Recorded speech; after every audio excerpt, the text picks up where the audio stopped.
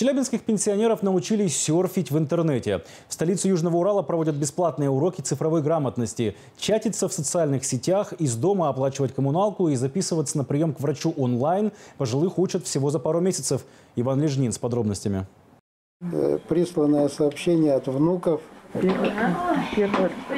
от сына, от дочери получаю тоже. Но в 21 веке расстояние не помеха для общения. Владимир Новосельцев регулярно переписывается с родственниками из Москвы и в соцсетях, и по электронной почте. 73-летний пенсионер хоть и дружит с техникой уже около 8 лет, но некоторые нюансы все же остаются для него загадкой. Пометки делает по старинке в блокноте. Ну вот мы тут э, разбирали несколько тем, так что у меня записано здесь, как открывать компьютер, как информацию искать в интернете, как электронную почту создавать. Вот сегодня социальные сети изучаем. Как отличить смайлик от стикера, зарегистрироваться в соцсети или отправить аудиосообщение, южноуральцев учат на уроке цифровой грамотности. Их проводят в Челябинске в рамках нацпроекта «Цифровая экономика». Причем абсолютно бесплатно. 13 студентов преклонного возраста изучают азы работы в интернете.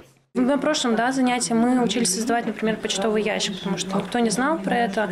А, Все писали письма, да, особенно пожилые люди письма писали а, через Почту России. Сейчас электронный ящик мы создали, они уже на прошлом занятии практиковались, написали друг другу письмо. Курсы цифровой грамотности проходят дважды в неделю, по вторникам и четвергам. На протяжении двух часов четыре тренера учат делать фотографии, сохранять изображения и оставлять комментарии на различных форумах. Время устанавливает нам требования уметь пользоваться этим.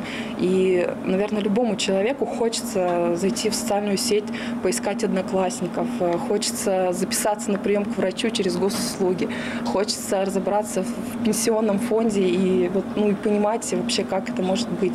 Этот курс продлится до конца апреля, но для тех, кто не успел освоить селфи и чаты, организаторы делают подарок. Следующий курс цифровой грамотности стартует в сентябре этого года.